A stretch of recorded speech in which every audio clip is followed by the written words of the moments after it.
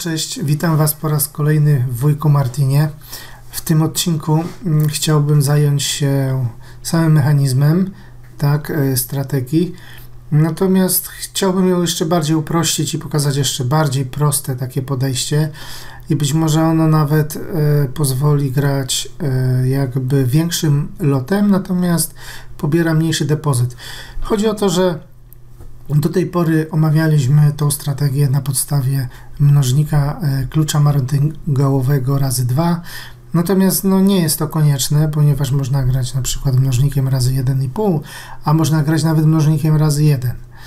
Także spróbujemy jakby przyjrzeć się właśnie tym troszeczkę innym, innym takim e, podejściom i trochę innym e, metodom właśnie rozgrywania tych sytuacji.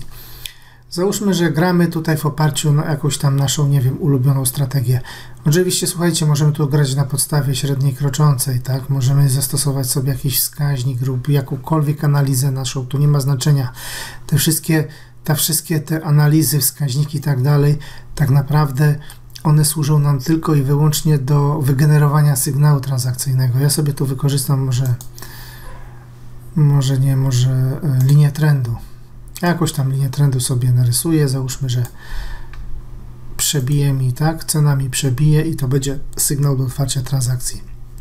Tak naprawdę, słuchajcie, to jest moja opinia oczywiście, ale te wszystkie analizy, te wszystkie wskaźniki i tak dalej służą właśnie tylko i wyłącznie do wygenerowania sygnału.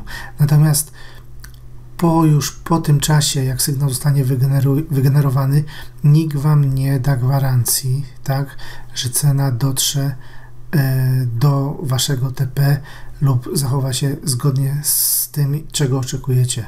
To tego nikt nie jest w stanie powiedzieć. Jest takie same prawdopodobieństwo, że cena zakończy się sukcesem, jak i stratą i ono się nigdy nie zmieniło i zawsze jest 50%. Także to po już po otwarciu, jakby po otwarciu tej transakcji tak naprawdę mamy do czynienia, ja to nazywam z takim pijanym marynarzem, tak? I nie wiadomo, w którym kierunku on pójdzie. Będzie się błąkał, błąkał, tak? Aż dotrze, tak?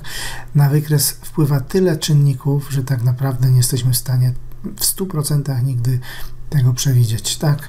Także jeżeli, nie wiem, będziecie kogokolwiek słuchać, to jestem pewien, że nikt nie jest w stanie zagwarantować Wam tak, że cena zachowa się zgodnie z Waszym oczekiwaniem.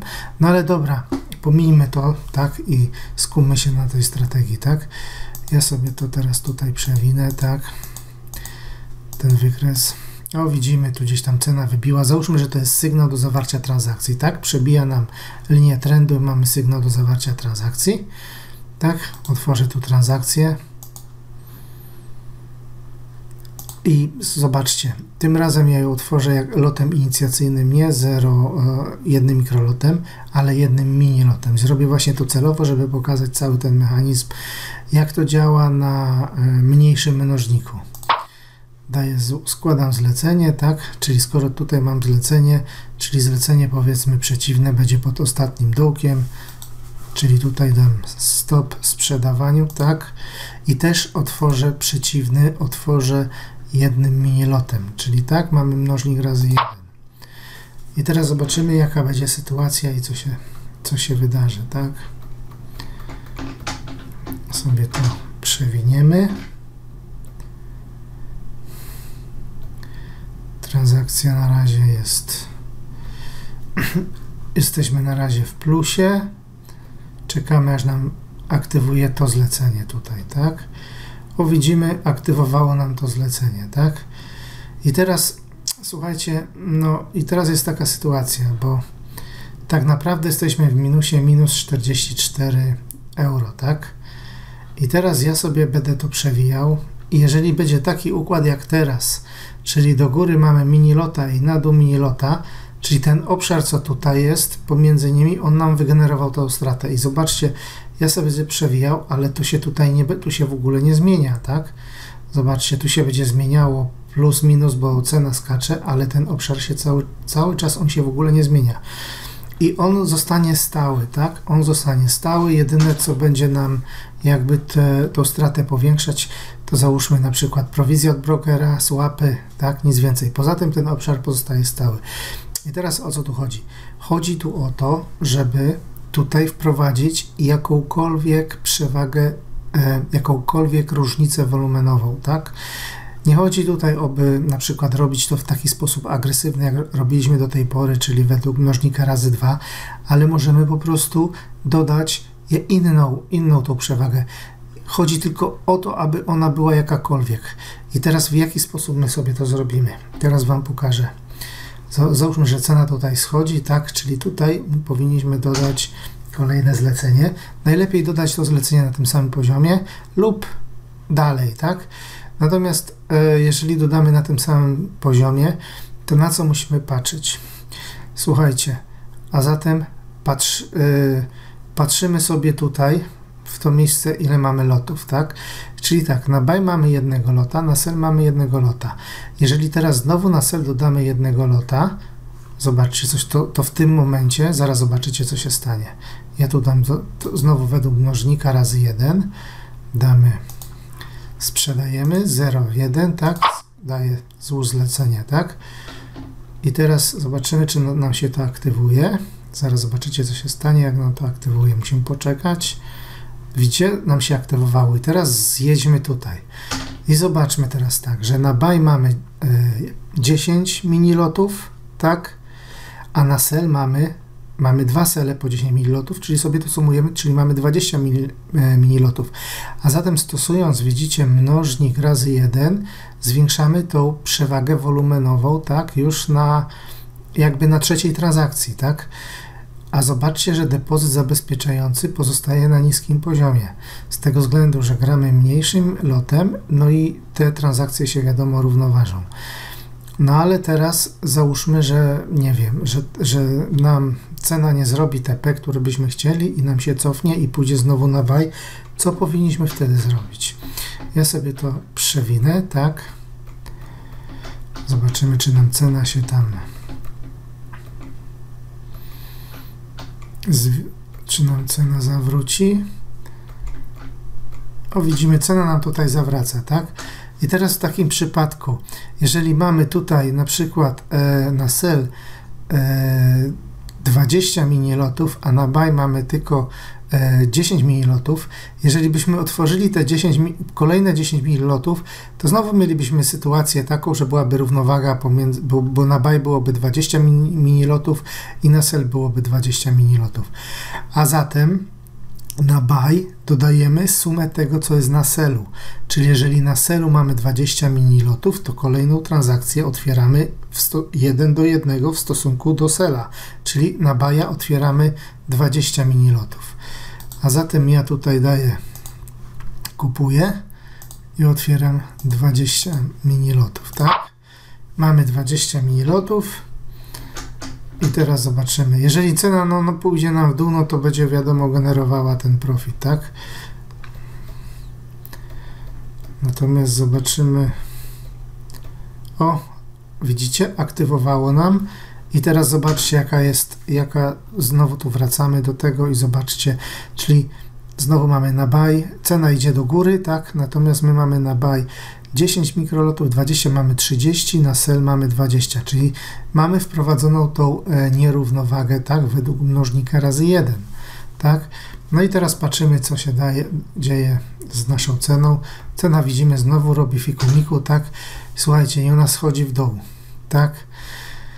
I co teraz? I teraz musimy znowu otworzyć tutaj transakcję i znowu postępujemy w ten sam sposób. Skoro na buy sumę mamy 30, 30 e, mini lotów, tak, wszystkich tych transakcji, no to również tutaj musimy otworzyć 30 mini lotów, czyli to jest ten mnożnik razy 1, tak? I da, ja dam sprzedaj, oddaję 30 mini lotów. Oj, coś źle zrobiłem, coś chyba za wcześnie, za wcześnie otworzyłem tą transakcję, sobie ucofnę, dobra, żeby nie robić niepotrzebnego bałaganu, tak? I teraz ona ma być tu otwarta na tym. Damy tutaj i damy 30 minilotów. Tak, i mamy na tym poziomie, tak? I, i teraz czekamy, aż nam to aktywuje. Pytanie tylko, czy nam aktywuje kiedy, tak? Dobra, widzicie, aktywowało. Znowu idziemy tutaj i sobie tu patrzymy.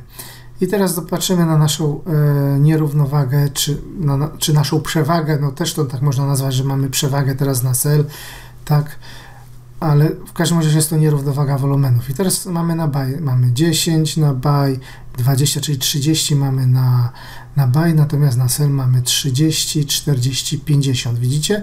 50, ma, 50 mamy na sell, na buy mamy 20. Tak naprawdę nawet nie musieliśmy otwierać, słuchajcie, tych 30 minilotów. Mogliśmy otworzyć 20 minilotów i też mielibyśmy przewagę, tak? Moglibyśmy otworzyć, nie wiem, 15 minilotów i też by, mielibyśmy przewagę. Chodzi o to, żeby była zachowana ta nierównowaga. Natomiast jeżeli idziemy właśnie z tym... E, jeżeli idziemy z tym mnożnikiem razy 1, no to będzie to mniej więcej właśnie tak wyglądało, tak? I my sobie tu teraz zobaczymy na wykresie, co się stanie. Widzimy, zobaczcie, cena nam, o widzicie, cena nam fajnie spadła, mamy zysk, tak? No i dzięki temu, słuchajcie, nie straciliśmy cały ten cykl transakcyjny, to było ile transakcji? Raz, dwa, trzy, cztery, pięć transakcji Zobaczcie, depozyt zabezpieczający jest niewielki, to jest oczywiście przy dźwigni e, 1 do 500. Natomiast e, jeżeli byśmy jeżeli byśmy e, szli według mnożnika razy 2, no to to byłoby znacznie, znacznie wyższe kwoty.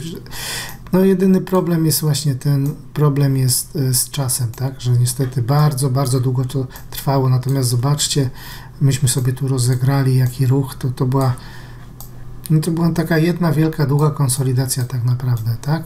I na tej konsolidacji udało nam się przetrwać i jeszcze zarobić. No to właśnie to chciałem właśnie pokazać. Mm, jeżeli, jeżeli znajdę czas, to w następnym odcinku może nagram e, taki odcinek z, z wykorzystaniem stop lossa.